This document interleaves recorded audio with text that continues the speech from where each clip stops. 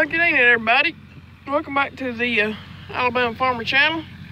Uh, sorry I haven't got a video up in a while. I've been uh, kind of busy with uh, soybeans and stuff, but uh, as you can see, we're cutting some hay finally. Uh, we've had to, we've been getting, or we're getting in late this year, but yeah, we're getting started anyways. I got the old Massey 165 hooked up to the GMD 600 Kuhn hay mower. And, well, sorry, uh, you looking at the sky. but anyways, so we got it hooked up.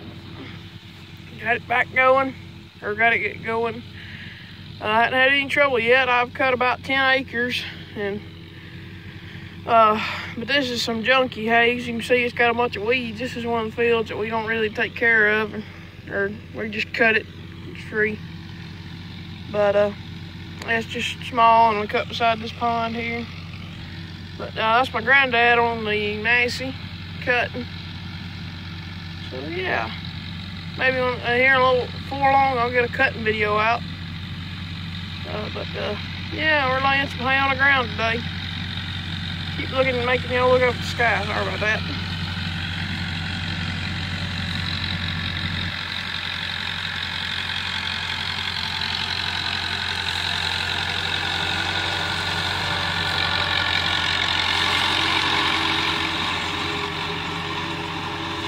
Uh, yeah, yeah, running good. Having no trouble towing it, toting it, pulling it. Running a little bit warm, which uh, I knew that disc and ground, it was gonna need the radiator rodded out this winter. So that'll be this winter before we get started with that.